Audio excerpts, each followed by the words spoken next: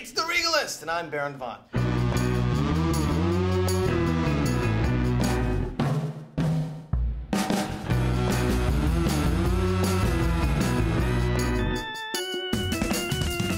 Today we're getting you hyped for How to Train Your Dragon 2 and the return of Toothless. I'll bet you already know what this countdown is. We're counting down the big screen dragons that get you all fired up. Present company excluded, of course. Why isn't Toothless in the list? Number four, the Hungarian Horntail from Harry Potter and the Goblet of Fire. Yes, it's a badass dragon. But the Hungarian Horntail is not Harry Potter's biggest foe. No, he reserves that right for puberty. That's a completely different fire. Comes up from your loins.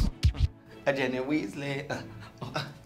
A Ginny Weasley. Number three, the male from Reign of Fire. Of course, there are a few other males in this movie. Am I right, ladies? Christian Bale, Gerard Butler, Matthew McConaughey.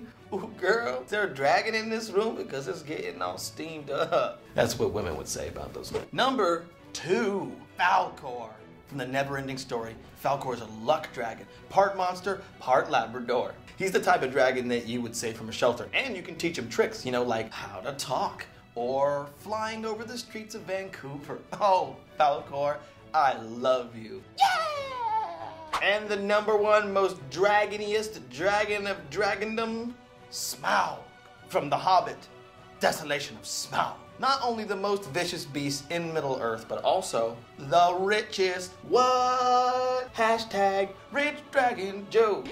You better wife up that dragon. You know, the only thing worse than a fire breathing dragon is a fire breathing dragon in a Maserati. Rich dragon jokes. The other dragons voted him most likely to marry a dragon 200 years younger. Get it? Because he's a he likes younger dragons. His nostrils smoke, but they only smoke like Cubans. What? Rich dragon jokes. And there you are, guys. And you can get fired up in June when Toothless and How to Train Your Dragon 2 hits Regal Cinemas everywhere. Tell us why we're wrong in the comments, and we will tell you why we're the definitive authority on cinematic dragons. Subscribe now.